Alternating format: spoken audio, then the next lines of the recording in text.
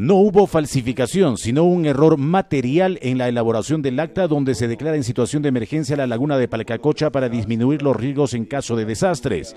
Es así que se conformó una comisión investigadora, ya que puede existir un error material en algunas palabras, mas no en un párrafo completo, indicó el consejero delegado Pedro Izquierdo. No se puede hablar de la falsificación de firmas, más a lo contrario, ha habido una modificación del texto, lo cual ha sido materia de discusión y aprobación en sesión de consejo. Se habla de un error material.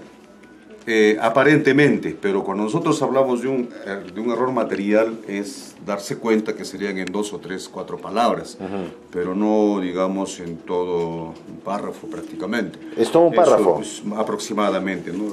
Del mismo modo se aclaró que en ningún momento se aprobó la modalidad de contrato para las obras del proyecto que fue aprovechado por las autoridades regionales. Acá en el artículo tercero declarar en situación de emergencia la laguna de Palcacocha que permita su atención urgente para disminuir los riesgos de desastre. Solamente hasta allí se sometió a votación luego de, de, su discusión.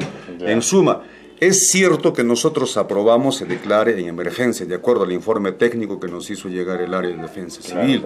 Entonces, pero toda esta parte subrayada ha sido añadido. ¿Qué dice en ese párrafo? Es, esta parte a, a, a, añadida hace ver de que nosotros, en otros términos, hemos aprobado la modalidad de contratación, o sea, contrato directo, lo cual pues en ningún momento se ha discutido. Si bien es cierto que hemos nosotros declarado en situación de emergencia la laguna de Palcacocha, pero sin embargo en ningún momento se ha discutido la aprobación eh, en qué modalidad se va a realizar ese tipo de contratación.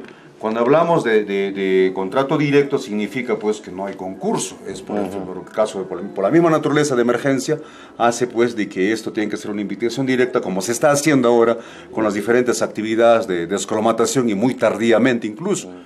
La comisión investigadora se fijó un plazo de 15 días para emitir su informe y se determinen responsabilidades en el cuestionado error material.